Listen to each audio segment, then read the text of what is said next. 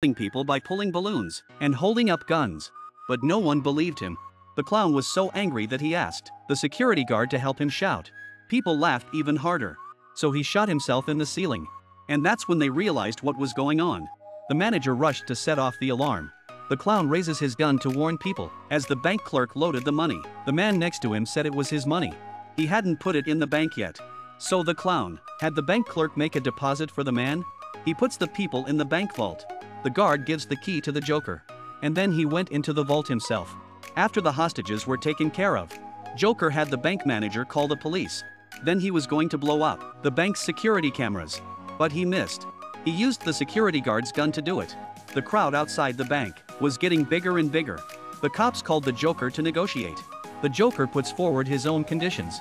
Every time he fulfills one of his conditions, he'll release a hostage. A helicopter arrived. The Joker asked them to vote on who to let out. Then the man in the corner threw up.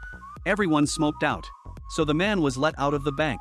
The police called the Joker. But no one answered. At that moment, the three men who were released got together. They were a team. They managed to get the money out of the bank. In order to stall for time, Jack called the police, said the monster truck was too small. He asked for a new one. But when he hung up the phone, Rod suddenly honked the car horn. The cops realized what was going on so they rushed into the bank. There was nothing but balloons. The three of them hurriedly drove to the airport, but they got lost. They met a man with a map on the side of the road. They didn't realize he was a robber. As a result, the three of them only had $4. They were taunted. Jack said the watch he was holding was worth a lot of money. But the man didn't believe him, so he took their suitcases. They had to go back to get their clothes. When they got to their house, they realized there was no parking space. They circled the building five or six times, Annie told him to park in the fire lane. Turns out the three of them had tied the money to their bodies. When they changed their clothes and got ready to run, the building across the street was on fire.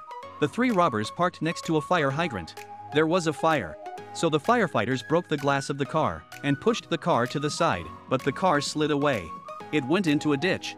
The three of them had to take a taxi to the airport. They didn't realize the driver didn't know the way. He was also red-green color blind. He ran red lights all the way to the airport. Rod was so scared that he rushed out of the car. He hit the wall and fainted. Jack and Annie grabbed Rod and ran. They got into a gangster's den by accident. Jack starts to talk him down. And the gangster was fooled. So the three of them got a lot more money. Then they boarded the plane. While they were looking for their seats, Chuck came up with a gun in his hand. Suddenly, a man came out of nowhere. Turns out he's the boss. Chuck came on the plane to get him. He fought with him straight away. Jack saw that he wasn't after him. So he gave Chuck a hand. When the boss was picking up his gun, Annie opened the door. He was knocked unconscious. They caught the local gangsters. The cops were so happy. They kept thanking Jack, and that was that. The three of them escaped and lived happily ever after.